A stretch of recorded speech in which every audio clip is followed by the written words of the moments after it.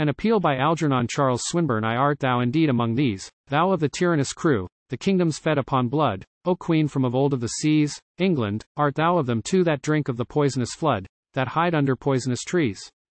2 Nay, thy name from of old, mother, was pure, or we dream purer we held.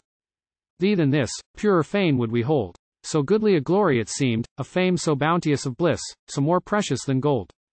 3. A praise so sweet in our ears, that thou in the tempest of things as a rock for a refuge shouldst stand, in the blood-red river of tears poured forth for the triumph of kings. A safeguard, a sheltering. Land, in the thunder and torrent of years. IV strangers came gladly to thee, exiles, chosen of men, safe for thy sake in thy shade, sat down at thy feet and were free. So men spake of thee then, now shall their speaking be stayed? Ah, so let it not be. Thee not for revenge or affright, pride, or a tyrannous lust, cast from thee the crown of thy praise. Mercy was thine in thy might. Strong when thou wert, thou wert just. Now, in the wrongdoing days, cleave thou, thou at least, to the right. V. How should one charge thee, how sway, save by the memories that were?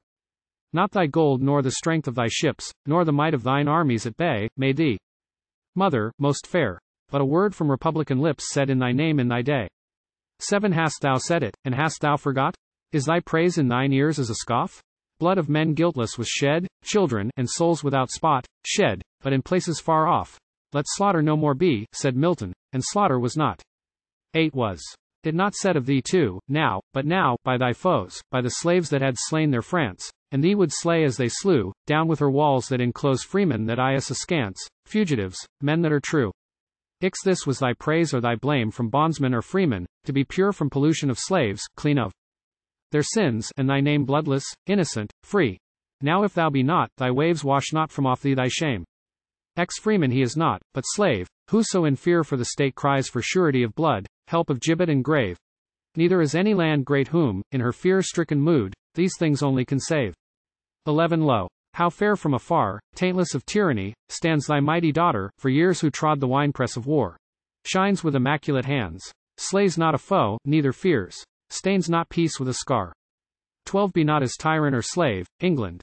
Be not as these, thou that wert other than they. Stretch out thine hand, but to save. Put forth thy strength, and release. Lest there arise, if thou slay, thy shame as a ghost from the grave.